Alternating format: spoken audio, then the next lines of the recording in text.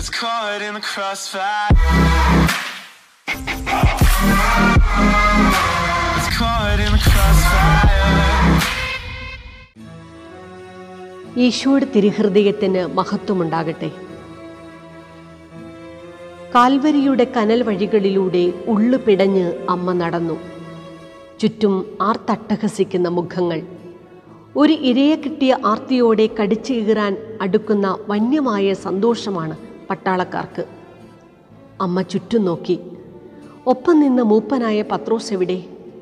അവൻ പാറ പോലെയാണെന്നും അവനെയാണ് സഭയുടെ താക്കോൽ ഏൽപ്പിക്കുന്നതെന്നും ഈശോ പറഞ്ഞത് അമ്മയോർത്തു യുദാസ് ചുംബനം കൊണ്ട് ചതിച്ച രാത്രിയിൽ അവരും ചിതറിക്കപ്പെട്ടിരിക്കുന്നു. യോഹന്നൻ മാത്രം ഒരു നിഴൽ പോലെ മരവിച്ച മനസ്സുമായി കൂടെയുണ്ട്. എന്നാലും സ്ത്രീകൾക്കുള്ള ധൈര്യം പോലും അവർക്കില്ലാതെ പോയല്ലോ. അടുത്തൊന്ന് എത്തിയിരുന്നെങ്കിൽ ആ കുരിശൊന്ന് താങ്ങിക്കൊടുക്കാമായിരുന്നു. അതവനൊരു ശക്തിയായേനെ. പീലാത്തോസിന്റെ അരമനയുടെ അകത്തളത്തിൽ കൽത്തൂണിൽ കെട്ടിയിട്ട് കൂർത്തുമൂർത്ത ഇരുമ്പ് കൊളുത്തുകൾ കൊണ്ട് പട്ടാളക്കാർ തലങ്ങും വിലങ്ങും ആഞ്ഞടിച്ചതുകൊണ്ട് അവന്റെ പൂമേനി ഒരു ചാൽ പോലെ വീണ്ടുകീറിയിട്ടുണ്ട് രക്തം വാർന്ന് തളർന്ന അവശനായ അവന്റെ തോളിലാണ് തൂക്കിലേറ്റാനുള്ള മരത്തടി അവർ കെട്ടിവച്ചിരിക്കുന്നത്. പാവം ഭാരം കൊണ്ട് കൂനിപ്പോയി. ചിതറിത്തൂങ്ങിയ മുടിയും ശിരസിൽ തറഞ്ഞു കയറിയിരിക്കുന്ന കൂർത്ത മുള്ളിന്റെ കഠിനവേദനയും അവന്റെ കണ്ണിൽ ഇരുട്ട് പടർത്തിയിരിക്കുന്നു. വഴി കാണുന്നില്ല. അതിനിടയിൽ ആരോ തള്ളിയതാണ്. മുഖം പൊത്തിയുള്ള വീഴ്ച അകലെ നിന്ന് ആരവത്തിനിടയിലൂടെ അമ്മ കണ്ടു. തകർന്നു പോയി ആ ഹൃദയം. ഒന്ന് അനുവദിച്ചിരുന്നെങ്കിൽ അവന് പകരം താൻ ബലിയാകുമായിരുന്നു. അമ്മ മുന്നോട്ടെത്തി നോക്കി. ഇനി എത്ര ദൂരമുണ്ട് ബലിക്കല്ലിലേക്ക്? അവളുടെ വലത് കരത്തിൽ ഒരു കരം മുറുകി.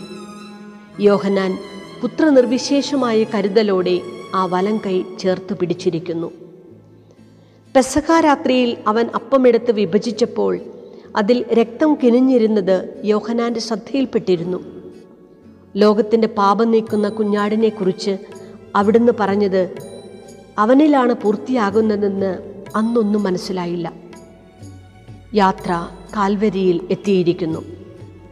ശരിക്കും കുഞ്ഞാടിന്റെ തൊലി ഉരിയും പോലെയാണ് പട്ടാളക്കാർ ഈശോയുടെ വസ്ത്രമൊരിഞ്ഞത് മുറിവിൽ നിന്ന് വീണ്ടും രക്തപ്രവാഹം.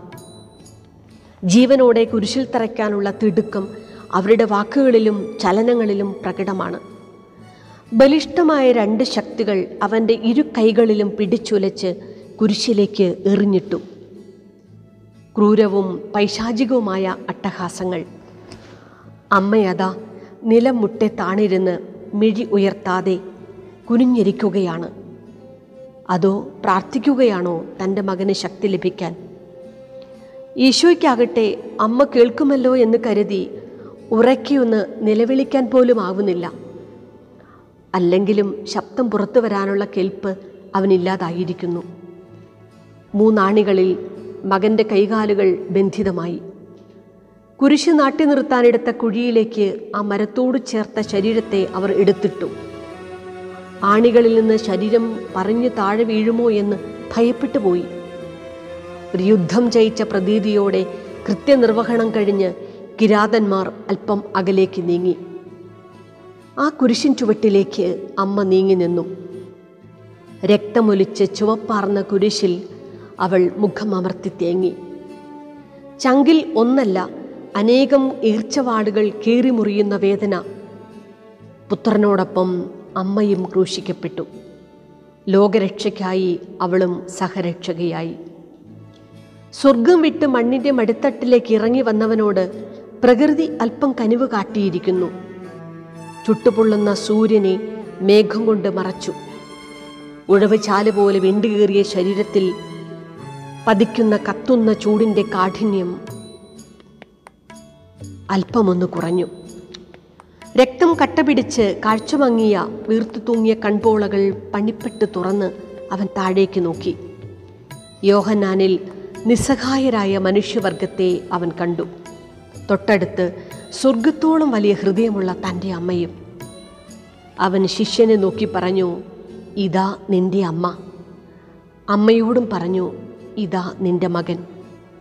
ഈ ഭൂമിയിൽ ഒരാളും സ്നേഹം കിട്ടാതെ അലയരുതെന്നാണ് പ്രാണൻ പെടയുമ്പോഴും അവന്റെ പ്രാർത്ഥന.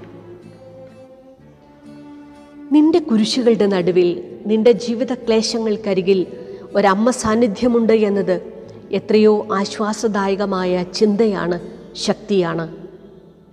നിന്റെ ഇടർച്ചകളുടെ വഴികളിൽ തളർച്ചകളിൽ ഒറ്റപ്പെടലിൽ സംശയങ്ങളിൽ ജീവിതത്തിന്റെ മാധുര്യം നഷ്ടപ്പെടുന്ന എല്ലാ സാഹചര്യങ്ങളിലും ഒരമ്മയുടെ സാന്നിധ്യമുണ്ട് എന്നതാണ് കാൽവരി നൽകുന്ന ആശ്വാസം. അവളുടെ നീലയങ്കി നിന്റെ സുരക്ഷാ കവചമാണ്.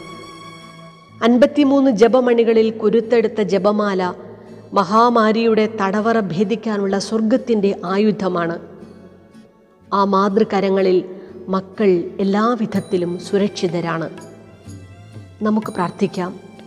പരിശുദ്ധമറിയമേ തമ്പുരാന്റെ അമ്മേ പാപികളായ ഞങ്ങൾക്ക് വേണ്ടി ഇപ്പോഴും ഞങ്ങളുടെ മരണസമയത്തും തമ്പുരാനോട് അപേക്ഷിക്കണമേ. ആമേൻ.